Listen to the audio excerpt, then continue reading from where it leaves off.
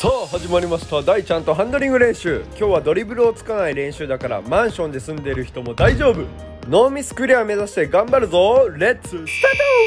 まずは指先タップ。手のひらは使わずに指先で弾いてタップタップするんだ。下上下上。ボールを上下に動かすことで難易度アップするからチャレンジしてみてね。うわーうまいね。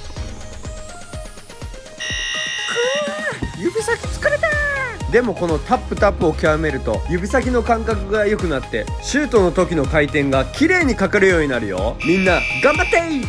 次は右手タップタップ。やることは同じ。片手になるとかなり難しくなるから目線の高さでタップタップをやってみよう。おっとみんな。タップタップが遅くなってきたんじゃない？もっと早くボールをつまむんだ。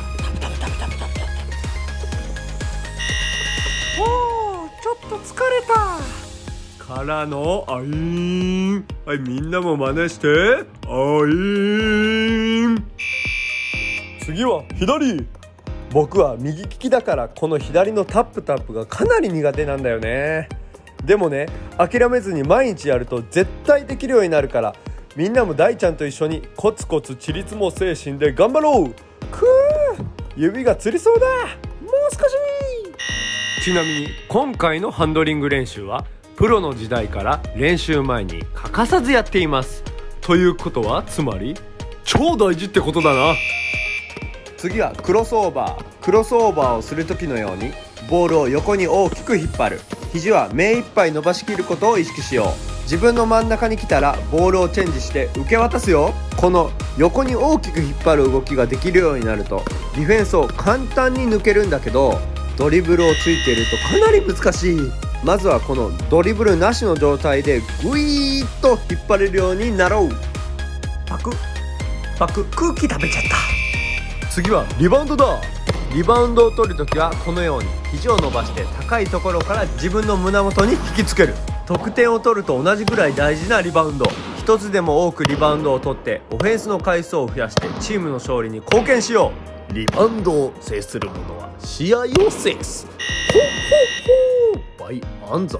ここでプチ情報。大ちゃんのアパレルクレセールから新作商品が出ちゃいます。今回もめっちゃ可愛いバスケウェアが出るからみんなお楽しみに。次は頭回しだ頭の上じゃなくて頭の周りを回して右手から左手に持ち替えよう。はい逆。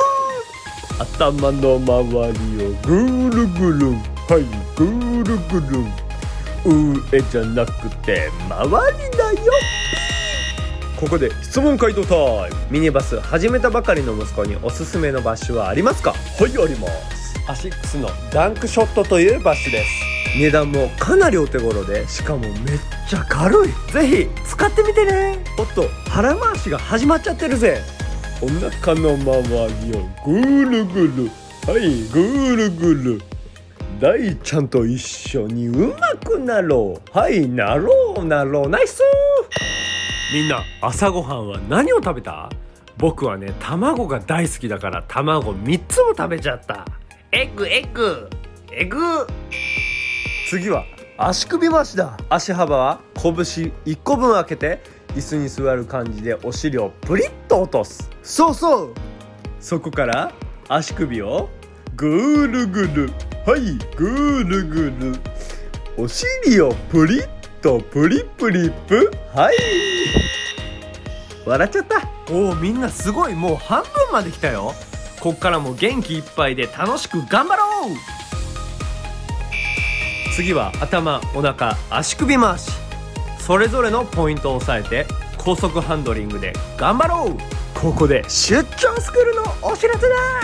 5月3日祝日水曜日岡山県で出張スクールをすることになりました。そしてさらに5月7日日曜日徳島県でも出張スクールを行うことになりました。岡山と徳島のみんなワンオンワンが上手くなりたいそこの君僕のスクールでレベルアップしようぜ。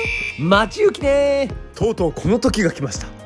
ブンブンブン。はい八の字レグ自分の真ん中に来たら受け渡しするんだよ。ブンブンブン。えええ今の何？ミスじゃないよな。セー。フ大ちゃんと一緒に練習してドリブルハンドリングが上手くなった人コメント欄で教えてくれたら超嬉しいです。待ちうぜよ次はお腹回しレッグだお腹を回して外から入れてお腹回して内から入れて。お腹回して外から入れてお腹回して内から入れる忙しいんだこれがちょっと難しいけど慣れたら簡単にできるよハンドリングはどんどんスピードを上げることで2倍いや3倍の意味のある練習になるからどんどんスピードをアップしていこうよナイス次はランジ回し？両足回しと片足回しを繰り返すよ。この時に頭が上下しないように注意しよう。意外と低い体勢をキープするのって疲れるよね。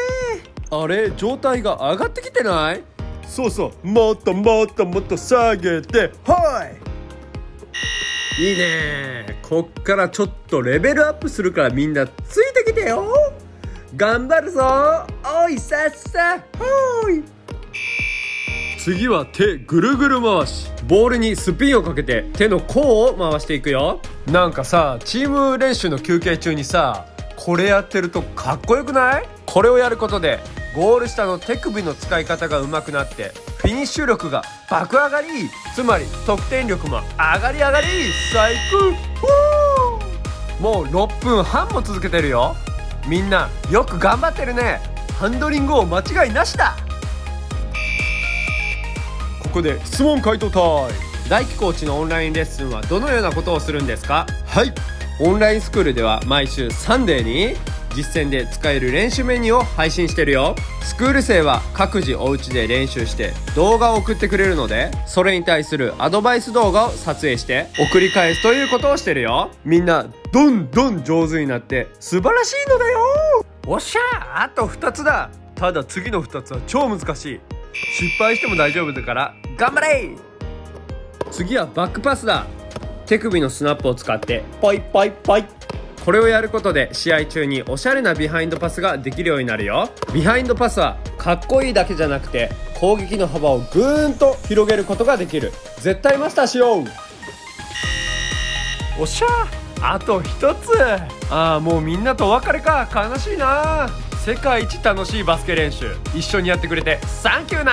ラスト行ってみよう最後はオブジェボールを内側から外にひねって逆。あみんな YouTube のコメント欄に今回から質問を募集してます。